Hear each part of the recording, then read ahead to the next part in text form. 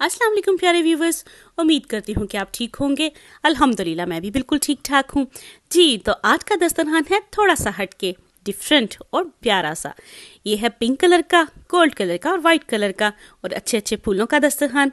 जी, आप कुछ तो समझ ही गए होंगे बैलून को देख के कि दस्तरखान लग रहा है बर्थडे का दस्तरखान। जी, बिल्कुल।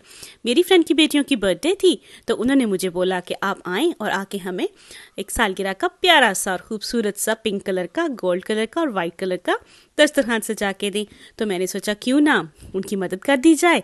इस तरह से हमारा दस्तरखान भी सेट हो जाएगा और बच्चियाँ भी खुश हो जाएँगी। जी तो हमने काफ़ी सारा सामान इकट्ठा किया। एक रूम था जिसमें हमें दो दीवारें मिली, जो एक साइड पे एक छोटी दीवार थी और बड़ी दीवार थी। छोटी दीवार के साथ हमने जो सेटअप करना था, वो केक टेबल सेट करना था और बड़ी वाली साइड पे हमने सोचा कि हम फ़ूड लगा लेते हैं। तो हमने दोनों दीवारों को यूज़ किया और एक छोटे से कॉर्नर में हमने किया फ्लावर्स को यूज़ और उसके साथ हमने बनाया पिक्चर का फ्रेम जी, जहाँ पे बच्चियाँ खड़ी होकर अपनी पिक्चर्स ले सकेंगी। सारा सेटअप बहुत ही डिफरेंट और बहुत ही अलग किया गया था। उम्मीद करती हूँ कि आपको अच्छा लगेगा और पसंद आएगा। कुछ टेबल्स के ऊपर मैंने हाइट यूज़ की थी।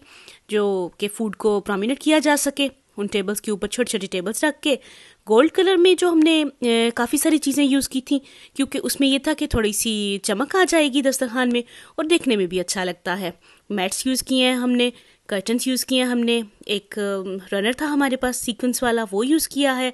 फिर कुछ हमने पिंक कलर के टिश्यू पेपर्स नैपकिन्स यूज़ किए हैं स्पून्स यूज़ किए हैं जो जो हमें पिंक और गोल्ड में अच्छा लगा, हमने वो सारा इकट्ठा किया, और उसको हमने यूज़ कर लिया।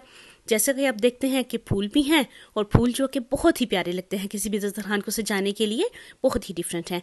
तो अब हम दिखाते हैं आपको कि कैसे हमने ये सारा सेटअप किया और देखते हैं कि ये कैसा लगेगा। उम्मीद करती हूँ कि आपको बहुत पसंद आएगा। देखें, मिलके सब देखते हैं। जी तो काफ़ी हद तक हमारा जो डिस्प्ले है, वो हो चुका है। हमने काफ़ी सारी चीज़ें जो हमने सॉर्ट आउट कर ली हैं। बैलून आर्च बन चुकी है, हमारा केक का टेबल लग चुका है। हमने जो स्वीट्स जार्स रखने थे, वो भी रख दिए हैं। गिफ्ट्स के लिए जो हमने कॉर्नर बनाया था, वो भी रेडी हो गया है। और केक स्टैंड भी हमारा बन चुका है। और टेबल की सारी सेटिंग कंप्लीट हो चुकी है ऑलमोस्ट इस साइड पर पिक्चर्स का कॉर्नर बना है। यहाँ पर हम लोगों ने रखा है फ़ूड का टेबल ये काफ़ी लॉन्ग टेबल है। दो टेबल को हमने इकट्ठा किया और उसको हमने बनाया फ़ूड के लिए। इसके ऊपर छोटे छोटे टेबल्स रखे गए हैं। उनके ऊपर हम, क्योंकि फ़ूड गर्म होगा तो इसलिए हम थोड़ा सा हाई रखेंगे ताकि बच्चे हाथ ना लगा सकें। तो साथ में कैंडल्स हैं, फूल हैं और ट्रेस हैं नेपकिनस हैं। सारा कुछ जो है ऑलमोस्ट वो सेट हो चुका है।